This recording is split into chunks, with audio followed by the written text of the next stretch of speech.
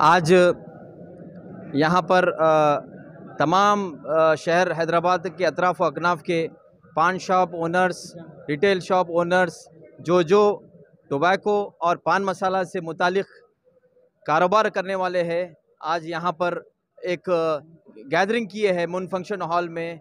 इस बात को तशवीश लेकर कि पुलिस तेलंगाना की तरफ़ से जिस तरह से बेरहमी से पान शॉप्स में सीज़र अरेस्ट किया जा रहा है, जबकि खानीन को के का रूल ऑफ़ लॉ का प्रोसीजर मेंटेन नहीं किया जा रहा है। लिहाजा इस सूरत में आज तमाम लोग यहाँ पर एक तशवीश लेके बैठे हैं कि हुकूमत बिलखसूस टी आर एस हुकूमत इस बात पर संजीदगी से नोट ले कि कोपटा एक्ट में जो प्रोडक्ट है, वो लीगल प्रोडक्ट है और जो प्रोडक्ट फ़ूड एक्ट में पान मसाला है, वो लीगल प्रोडक्ट है।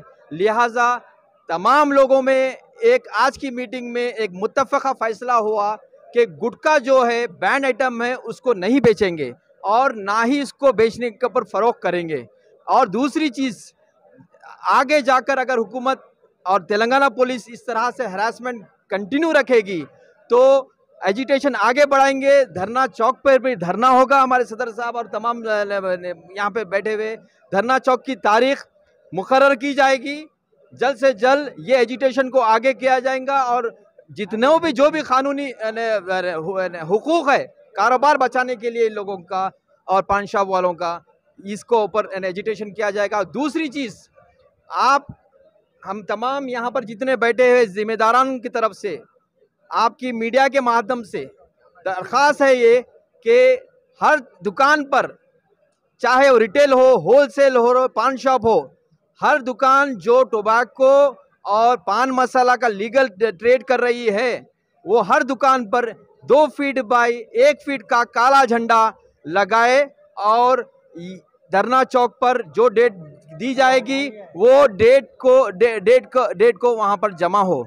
लिहाजा आगे मैं हमारे इकबाल साहब और हमारे यादव साहब को ना इकबाल भाई इकबाल कृष्णा। यही है कि जिस तरह से सादा जर्दा सादा जर्दा, अगर अगर टोबैको है बोले तो टोबैको है बोले तो स्मोकिंग टबैको, सिगरेट लीगल अगर है तो स्मोकलेस टबैको क्यों इलीगल है? ये आप तेलंगाना पुलिस, अपने पब्लिक प्रोसिक्यूटर हो या अपने जीपीज हो या अपने जीते भी लीगल एडवाइस हो, तमाम जजमेंट्स हाल ही में जितने क्वाश हुए हैं, क्या पुलिस अरेस्ट बता रही है, क्या कितने केसेस क्वाश हुए बता जो पुलिस को चैलेंज देते हैं हम यहाँ पर। कई केसेस कोपटा एक्ट में क्वाश हुए हैं, ये चीज़ रिपोर्टिंग नहीं होती है। अगर केसेस फ़ाइल होते हैं तो कामयाब पुलिस नहीं होती है। लिहाजा, इस हिसाब से ये तमाम लोगों का मुतालबा डिमांड्स यही रहेंगे कि रूल ऑफ़ लॉ के हिसाब से काम करे। पान मसाला लीगल है, उसको सीज ना करे। चीविंग टबाको सादा जर्दा लीगल है, जो कोपटा के एक्ट में आता है, वो सीज ना करे। अगर पुलिस गुटखा सीज कर दिए तो उसका हम समर्थन करते हैं और तमाम लोग यहाँ पे मुतविक है, तायद करते हैं कि गुटखा जल्द से जल्द मार्केट में ज़ीरो हो जाए। और ये मामला सिर्फ़ और सिर्फ़ एक या दो आदमी का नहीं है मिलियंस ऑफ़ लोग इस कारोबार में ताल्लुक़ रखते हैं। उन लोगों की रोज़ी रोटी, उनके बच्चों के लाइवलीहुड स्टेक पर है। क्या टी हुकूमत अनएम्प्लॉयमेंट को इंक्रीज करना चाह रही है? क्या एम्प्लॉयमेंट देना चाह रही है? ये टी हुकूमत जल्द से जल्द इसका इसका इसका आंसर दे और जिस तरह से सीजर हो रहा है, जिस तरह से हरासमेंट हो रहा है और इसका नतीजा ख्वाहिश हो रही है केसेस इसका सवाल खुद पुलिस दे और हरासमेंट रोके और धरना चौक पर भी जो डेट आएँगी, हमारे सदर साहब, हम तमाम जिम्मेदारान ये चीज़ की डेट व्हाट्सअप के ज़रिए सोशल मीडिया के ज़रिए डिक्लेयर करेंगे और दूसरी चीज़ क्या है? काला झंडे की तैयारी करिए और वो झंडा जब तक रहेगा जब तक हुकूमत हम इनके हमारे मुतालबात नहीं नहीं नहीं करेगी। और वो झंडा फिर दुकान में रहेगा। वो झंडा हटेगा नहीं। जब भी फिर से एडिटेशन शुरू होगा फिर काला झंडा आएगा। रोड पे चप्पे चप्पे पर पान की दुकान है। रोड के चप्पे चप्पे पर रिटेल शेयर है। रोड के चप्पे चप्पे पर हर मिनिस्टर हर एमएलए को नज़र आए कि काला झंडा एजिटेशन चल रहा है। बहुत बहुत शुक्रिया हमारे यादव साहब आज जो हम मीटिंग बनाए हैं यहाँ पर बिठाए हैं जो Nalgonda X road moon function hall में, जितने भी तमाम ट्विन सिटीज़ के ज़िम्मेदार यहाँ पर आए हैं पान शॉप ओनर और होलसेलर वगैरह, जितने भी लोग हैं यहाँ पर हैं, ये हमारा कोई डिमांड कोई नहीं है, ये हमारा हक है।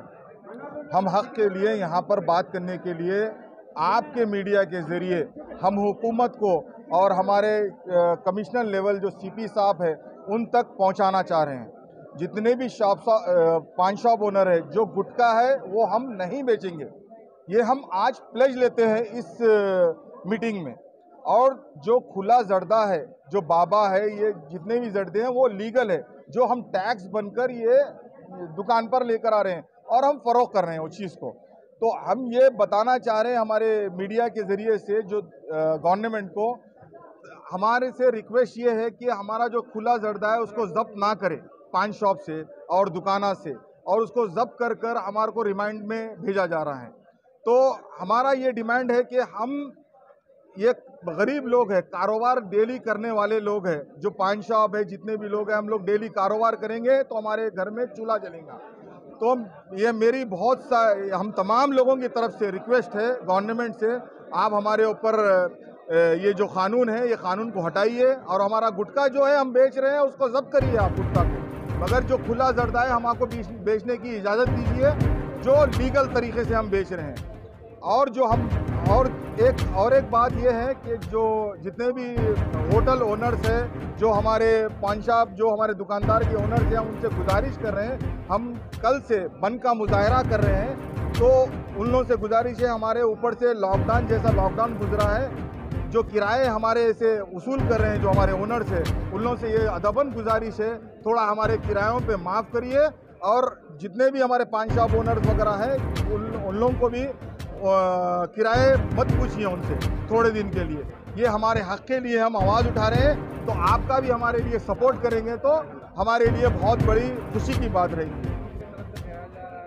और तीसरी बात तीसरी बात यह है कि पान शॉप जितने भी ओनर्स हैं आप बन का मुजाहरा हम आज कह दिए हैं तो पीछे से ब्लैक में फरोख कर रहे हैं उस चीज़ को। मैं अदबन अदबन अदबन गुजारिश करता हूँ, जितने भी शॉप ओनर है और और मेरे साथ जो होलसेलर है, उनसे भी गुजारिश कर रहा हूँ, एक जर्दे की पैकेट ब्लैक में मत बेचिए। हमको ये सब चीज़ रोकना है। ये चीज़ हम रोकेंगे, अगर बन का मुजाहरा कर रहे हैं तो हमारा जो आईटीसी है, जो इम्पीरियल टोबैको कंपनी है, जिसको कहते हैं आईटीसी उसको भी फ़र्क पड़ेगा। ये चीज़ भी उठाएगी ये बात। और मैं सबसे गुजारिश कर रहा हूँ जितने भी ट्विन सिटी के पान शॉप ओनर हैं उन सबसे घरों में अपने दुकान मत लगाइए पान फरोख मत करिए। दो दिन पान खाए तो कोई मर नहीं जा रहे हैं।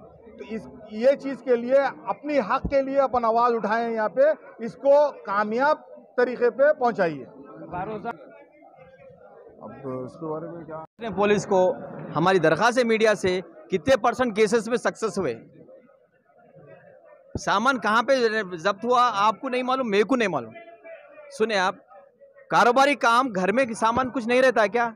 अगर पान का खत्ता है तो घर में नहीं रहता कुछ सामान। सो वो स्टोरेज है स्टोरेज है वो। आप उस चीज़ को देखिए, यहाँ पे आप सोशल मीडिया से बिलखसूस अदबन दरख्वास्त है। ये रोजी रोटी का मामला है।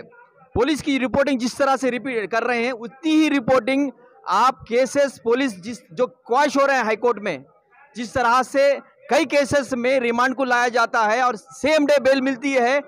मजिस्ट्रेट्स बोलते हैं कि 328 अट्रैक्ट नहीं होता। कुछ केसेस में ऐसा हो रहा है कि टेक्निकलिटीज कुछ समझ में नहीं आने के बाद वजह से रिमांड हो रहा है। और कई केसेस हाई कोर्ट में क्वाश हो रहे हैं और सीज्ड आइटम मेरे पास दस केसेस रिपीटेडली रखे हुए हैं, जिसमें आइटम भी रिटर्न करने का डायरेक्शन किया गया है। लिहाजा बिलखसूस मीडिया से दरख्वास्त है कि पान शॉप्स के जो कॉज है, जो लीगल कॉज है इन लोगों का, इनका कानूनी हकूक है, उनके बारे में भी रिपोर्टिंग किया जाए। बहुत बहुत पुलिस का हेरासमेंट नहीं होगा, ख़त्म होगा। एसोसिएशन की तरफ़ से ये जो भी एक एक यूनियन है, एक जॉइंट एक्शन कमेटी है, इसमें एक एसोसिएशन नहीं है, कई एसोसिएशन है। पुराने शहर से भी, और नए शहर से, सिकंदराबाद से पूरे अब यहाँ पे मुतहद है। और ये जॉइंट एक्शन कमेटी ये डिसाइड करेगी। आगे और एजिटेशन बढ़ेगा। धरना चौक के बाद भी अगर काले झंडे के बाद भी नहीं हो रहा है तो धरना चौक होगा। उसके बाद सीएम के घर सीएम के घर के पास मुलाकात के लिए जाएँगे। घेराव का वर्ज नहीं ले रहा हूँ मैं, अल्फाज, मुलाकात के लिए जाएँगे। क्योंकि आज की तारीख में ये मामला ये मामला हेल्थ मिनिस्ट्री का है और हेल्थ का इंचार्ज चीफ मिनिस्टर साहब के साहब है। लिहाजा ये संजीदी नोट लीजिए और आ, हम ये जो इशू है ये लीगल इशू है इन ये बात ये एजिटेशन क्या जारी रहेगा जब तक हरासमेंट पुलिस का ख़त्म ना हो।